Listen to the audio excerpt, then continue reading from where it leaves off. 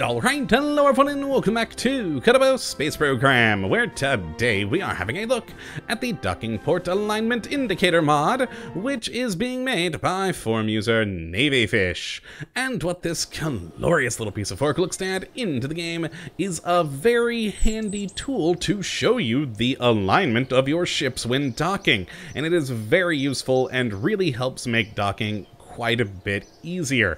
And this mod's actually been around for quite a long time. I think released in 2013 originally, and it is still being updated to this day. In fact, that's why it got on my radar yet again, and why we're doing a video, because just a couple of days ago, it did update. So let's jump into the VAB and have a look at one of the very wonderful tools in this mod. Now, it's not an actual part, but if we pop a command command pod on there and a docking port, one of the key features in this mod is that you can easily cycle between which docking port you're targeting on a ship, and we'll take a look at that in more depth in a moment, but what makes it easier when you're cycling through is that you actually have the ability to rename an individual docking port. So you know that this particular docking port is, I don't know, port 1. And then you could have another name port 2 or whatever in the world you want it to be named. So when you are cycling through them using the uh, mod UI, you can perfectly pinpoint exactly which docking port you need rather than having to click around on the ship manually. It's very convenient and very useful, and you can of course do it in here or the space plane hangar, but you can also do it while in flight, so you can do it in all those different places for your convenience. Now let's actually head out to space and take a look at that uh, naming in action, and of course all the other lovely features of this mod with my uh, wonderful, and by wonderful I mean very quickly thrown together uh, docking port alignment indicator ship here. And let's start by actually just taking a look briefly at what we just were looking at. If I right click on one of these docking ports, we can, as you can see, rename it here in flight as well. And I did name, uh, rename these main ones here, but uh, not the ones around the side. So as you can see here, I have this one named main docking port. And beyond that, the rest of this mod is all held inside this button here, which will open up this really great looking UI that's well, basically a little instrument panel for our docking alignment. But before we look at that, just kind of before we look at the next thing and the next thing and the next thing, we have settings, because, well, that's always handy. Now, the first one we have is Display HUD Target Port Icon. Now, that is the icon that actually shows on the docking port itself in the world, whichever one you do have targeted, and you can turn that on or off by default. You can also select for it to be on when using Raster Prop Monitor, because this is fully compatible with Raster Prop Monitor, so it can show on any of the screens you want. And when you have it on RPM, you can again choose that, well, maybe if I'm looking through that screen, maybe it does or does not show in the world. Beyond that, we can also change the size of that icon, and once we actually uh, target something for docking, we'll, I'll show this again just to give you a better idea. Now next is the auto-targeting and cycling, and that's that wonderful feature I uh, mentioned earlier where we can click on a ship and then cycle through the different docking ports using these arrow keys right here. Now you can turn that off if you want, but I don't know why you would. And a very important tool here is that you can exclude from that list docking ports that are already being used, which is very handy. Now, you can turn that off if you so desire to check around your docking ports, but by default, it is on. Now, beyond that, we can change the uh, GUI scale here and also invert the alignment X and Y, translation X and Y, and even the roll direction. We can invert all those things to whatever you prefer. Now, I'm actually going to make this a GUI a little bit larger here, just so it's easier for you guys to view, hopefully on the the video.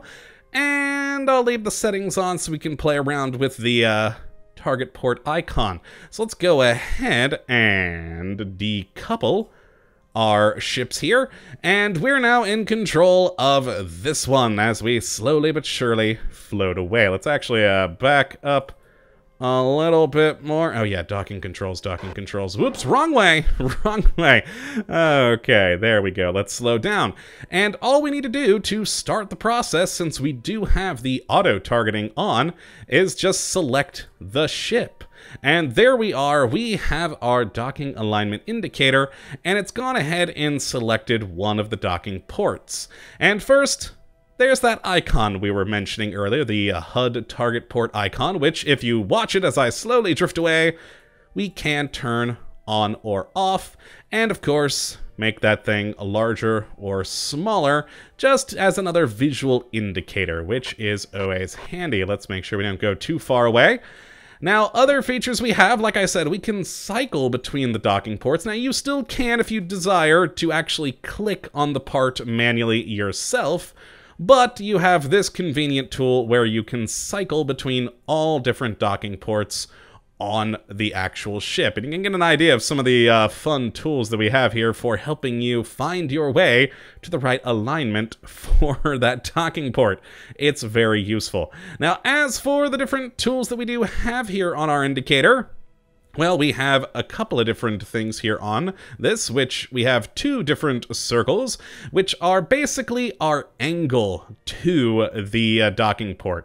So what you want is the yellow and orange icons here to be lined up perfectly for us to actually have the correct angle where we're pointing at each docking port. Now these lines on the other hand are showing us that well right now that docking port is off to one side and higher than us. And so you just kind of mess around with that. So if we adjust ourselves this direction, you can see we're closing in on that target. And once it's lined up with the center here, we know that, well, we're on that sort of x-axis in the line for what we need. And we can begin to slow down our movement. Okay, a little bit too much. There we are, so we're now in line, but we're still high. We're quite a bit higher than this thing. So if we, oh boy, I'm all over the place with my controls. I think my controls are slightly backwards. but you can see now that I'm lowering down, so too does that particular bar. And now that, well, I'm in line on almost both of those axes, we're pretty much, you know, almost good to dock. We're just still a little bit off in the angle. Now we do also have the uh, distance over here, which is good to have. So that is how far we are. We also have sort of a relative distance and velocity. So basically how far we're moving, or how fast rather we're moving in relation. And so very good things to know when you're coming in for docking. Now as for this icon over here, uh, this is something you want to have in this location. Basically, if I change it to rotational, we can kind of move ourselves around here, and, well, when that goes away, it it means that we're way off. And basically, we have an arrow telling us, oh god, we need to, we need to come back around to a more proper location, and once we're actually within the sort of gauge's uh, realm of operation here, it goes back down to center. So if I uh, pitch myself back up and leave uh, the instrument, there we go. We got the arrow. Bring it back down, it's back down there nice and happy. And of course, if we do change to another docking port, you can see that, whoa boy, we're way off. Basically, the red shows us that we we really can't even properly align ourselves because we're facing the wrong direction, and it's telling us what direction we do need to go to to get there.